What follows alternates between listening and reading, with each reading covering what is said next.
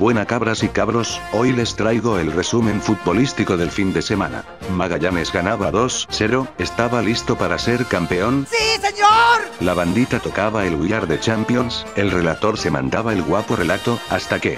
Hay gol de Cobreloa. Hay gol de Cobreloa.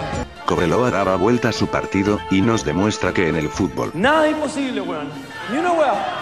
Los de Magallanes quedaron así de impactados. El fin de semana que viene, esa definición va a estar. Buena, buena la weá. Calera le acomodó cuatro guapos goles a la Católica.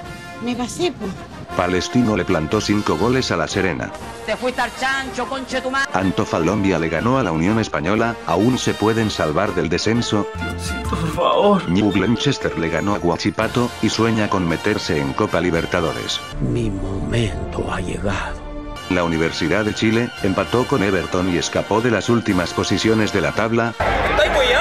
No señor Junior, no es hueveo. El DT de Coquimbo dijo que le daría un baile al Colo, y bueno ya sabemos lo que pasó. ¿Qué pasó? Colo Colo ganó 2-0, y se coronó campeón del fútbol chileno. Todo fue celebración, todo fue júbilo, hasta don Ramón vaciló el campeonato. Parece que ya no le va al Necaxa.